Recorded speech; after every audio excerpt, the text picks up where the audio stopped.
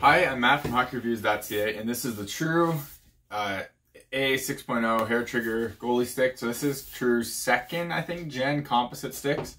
First one was just A6.0. This one is the hair trigger. Um, so the hair trigger on their player sticks is for their low kick sticks, hence the hair trigger. You don't have to put a ton into it and you get a big whip.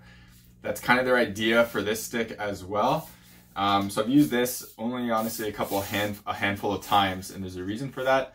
Um, so I guess let's just jump in. Well, first I'm going to talk about the things I do like about this stick. Um, it's fairly lightweight. It isn't the lightest stick on the market, and at $300, honestly, it should be up there or should be there. So I think the price for this stick is kind of mispriced in that sense because it's not compete. It doesn't compete with uh, the new Warrior CR1 Plus or VR1 Plus, sorry, Plus Pro, Pro Plus, whatever, and uh, 2S Pro. Um, this stick is heavier than both of those. So that's kind of disappointing for the price point. It should be competing with them. Um, but the thing I love about this stick is the grip. So True does this nice matte grip all the way through the paddle. It's more, rel or like you can tell, it's more here, and then it kind of goes away as you go up the shaft, as well as it goes away when you go down the paddle. Um, so I like that grip. I think it's a nice mix of grippiness, but as still allowing you to poke check and actually handle the stick fine. Um, I have issues with some of the grippier sticks where I have to sand them down. Did a video on that. Um, so I like that about True. Uh, the looks of it are just whatever. It's just it's pretty simple, so it's not a big issue with me. I like how they do like the blacked out True up here. It's always a nice little touch. Um, but I really like the shaft feel, and I really like like holding it in your hand. I like how the blade is. It has a bit of a texture to it. Um, not a ton, but a little bit on the front. Um, nothing big. My main complaint with this stick, and the reason why I'm doing this review so fast, um, is it vibrates way too much. Um, so usually I use equipment a lot longer than what I use this, but I'm not going to use this anymore because I just don't like it and I'm uh, going to move on from it. Um, so with that said, this stick vibrates like no other stick I've ever used, uh, no other goalie stick I've ever used, and it's pretty ridiculous in my opinion. Um, one of the main complaints about old composite sticks or composite goalie sticks to begin with was when a puck, when you stop a shot, your hand vibrates. Like it would vibrate so much, it would be uncomfortable in your hand. I never had that issue with any of the goalie sticks I've ever used before. Now I'm kind of late to the game. My first composite goalie stick was a Warrior CR1.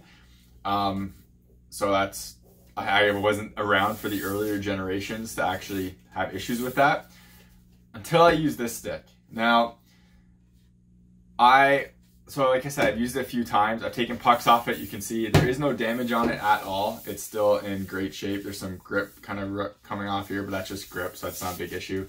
No damage at all to the stick itself, so I, I can't comment on durability. But when I was making saves with this, it felt like I was using just a straight up piece of, I won't say rebar, because that's a little unfair for weight, but this, every time a puck hit this, my hand would vibrate like crazy. Um, so it has the bladed ribs in the actual paddle. I'm not sure if that's what's causing it, but you can hear that's pretty like alive and pingy.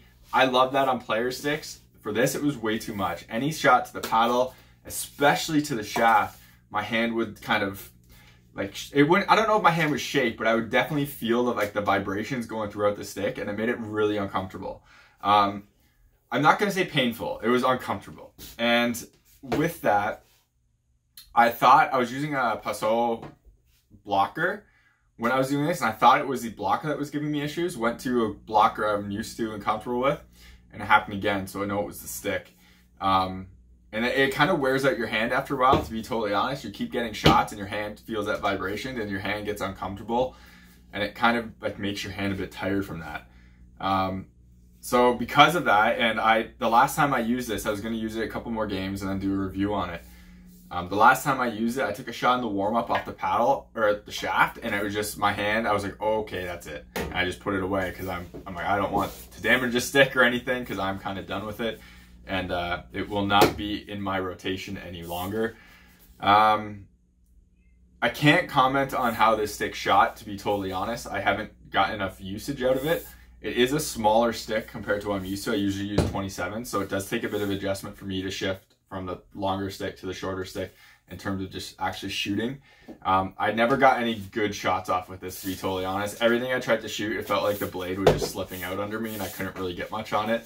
But I'm not a good puck handler, so I'm not the best um, like I'm not the best at reviewing that part of goalie sticks. I can more talk about how the stick actually plays and everything like that.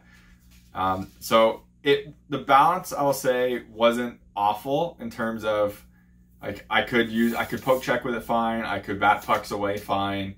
So I had no issues with that. Um, it almost to me felt a little bit like right in my hands right now. It feels blade heavy, and I kind of feel like that's pretty close to what it always felt like. Um, and if, if it's a little bit too much weight on the blade itself, but my other my big issues are uh, are with the vibration, so that's why I'm moving on from the stick. So I, there's no way I can recommend this to anyone. I've heard bad things in terms of durability, um, and I can give firsthand experience in terms of how awful the vibrations are on this. Um, this is honestly the worst goalie stick I've ever used, and I mean worst goalie stick I've ever used, especially for the price point.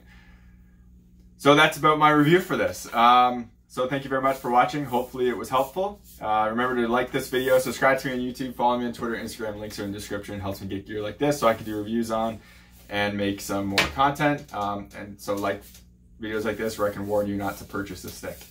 Um, and if you ever do purchase a piece of equipment because of one of my videos, please reach out to the manufacturer on social media. Helps me get uh, on their radar. So again, I might be able to get some demo stuff so I can test out and do reviews on. So thank you very much for watching and take it easy.